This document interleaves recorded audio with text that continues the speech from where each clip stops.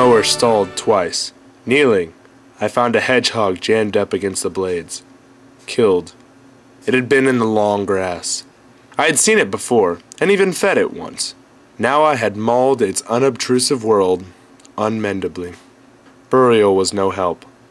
The next morning I got up, and it did not. The first day after a death, the new absence is always the same. We should be careful of each other. We should be kind while there is still time.